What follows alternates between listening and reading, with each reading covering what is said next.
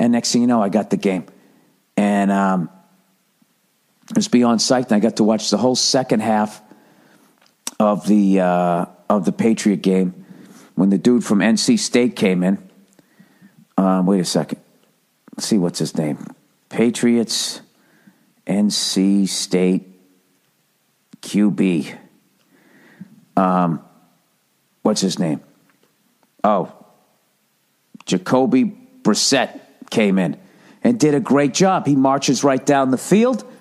We go up like fucking 35 to fucking 3 or 10 or whatever the fuck it was at that point. 34, was that what it was? 31. 31, that's what it was. It was 31 to uh to like 10 or some shit like that. And I'm just like, "Oh, this is fucking great." This is great. We got it. We can cruise now. And then all of a sudden, the Dolphins just start coming back. You know, they start marching right down the fucking field, and it's just like the classic NFL. It's like, can, is any lead big enough? I know that we got a third string quarterback who's now our second string because Tom Brady is inactive. What the fuck? Blah, blah, blah, blah, blah. But um, long story short, we ended up pulling out the win. We're fucking 2 and 0. And guess who lost again? The Colts lost again. Can you believe this? You know? It's almost like the football gods are are weighing in, I feel. The fact that we're 2 and 0 without our starting quarterback, without our second string, with our third string we win. You know, granted, we played the fucking Dolphins. You know, they're uh they're in a way right now obviously, you know.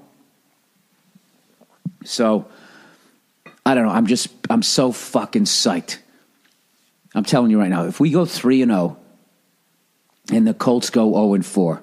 I know our schedule's going to get a lot tougher. And, um, but anyways, you know what was funny? So once we went 2 and 0, this buddy of mine called it. He was just going like, dude, you know, as long as this is before, you know, Garoppolo got injured. He goes, if he goes 2 and 2, that's fine. I just don't want him to go 4 and 0 because then every fucking dope out there is going to be like, you see, it's just a system. You can put anybody in there and they will win.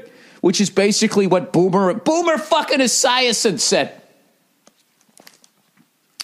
He even said that. It's it it just boggles my fucking mind. Some dope tweeted that to me. You know, like they sit there and they look like beating a rebuilding team during the second fucking week of the season is the same as being down with a minute and a half left in the Super Bowl. You know? The time when other people fucking puke up their Campbell's soup. You know? Other people who are shaped like a pencil who crush it in November fold during that fucking time.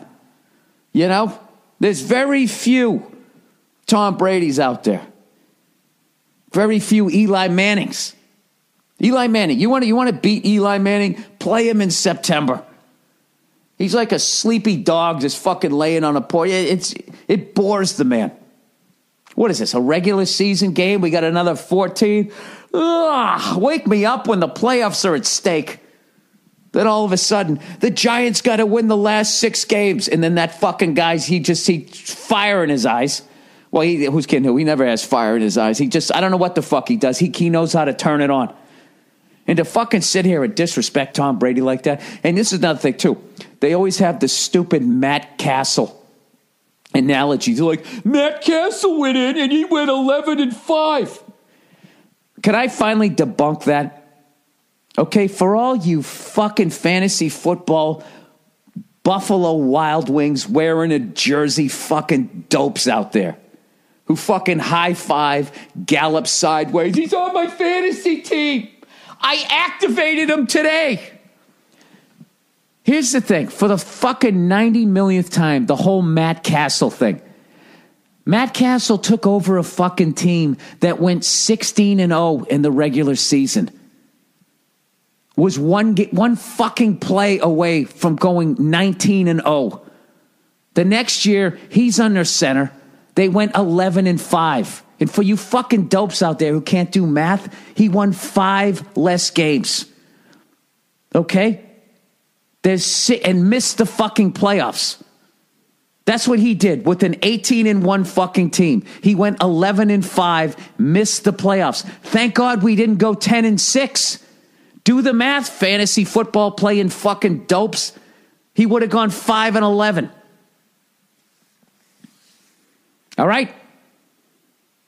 You guys don't remember when he got he got traded to Kansas City and then all of a sudden became mortal again? You don't remember that?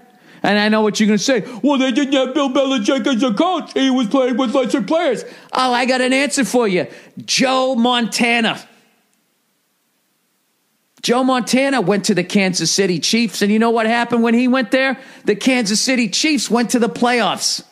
All right, you fucking morons. Here's the deal Mick Jagger needs Keith Richards. Bill Walsh needed Joe Montana. All right? And Bill Belichick is not going to win a fucking Super Bowl with Garoppolo. At least not in the first. I mean, who knows what that kid can do, but at least not in the first fucking. St- it's so fucking stupid. I'll tell you right now, I mean, Belichick is so good, you can put anybody in there and they're going to win. Because we beat the Dolphins the second week. We're 2 and 0. Oh, that's it. That's it. Somehow now we're never going to lose a fucking game again. So, you know that chatter's going to happen because there's there's Buffalo Wild Wings people all the way up to guys like Dan Shaughnessy. He's going to say it. You know, thank God Garoppolo got hurt because Dan Shaughnessy, you know, the fucking Benedict Arnold of Boston sports. He's oh, there's that man lives to try to stir up a controversy to distract the hometown team. He doesn't give a fuck. You know what I mean? He's he's like Skip Bayless before Skip Bayless. It's just, you just listen to the man. It's just like, dude, you're just literally just saying shit, aren't you? Um, so I'm glad to finally get to address that stupid Matt Cassel thing. Okay, no disrespect to Matt Cassel. He was a solid quarterback, but Jesus Christ, to fucking act like, well, hey, I mean, if you had Matt Cassel or Tom Brady, the Patriots still go to six, winning four out of six. Come on. Come on, people, you know. The reality is, is what it is, is you fucking hate the Patriots. And if there's any remote angle for you guys to criticize the Patriots, you try and find it. And I'm going to I'm going to go even further. I think all right 20 years from now when they look back at, at and everybody can just fucking let it go. You know? Even like like the most harshest Red Sox fan that hated Derek Jeter. You know, who's kidding who? Because the guy was great. You know? Even at the end of his career, even you couldn't hate the guy. I think 20 years from now. That's how good looking Tom Brady is. It's going to take 20 years after he retires. When they look back on the pettiness and the patheticness of and the level of this fucking suspension, you know, I think in the end, Jim Irsay finally is going to be exposed for the fucking crybaby that he truly is.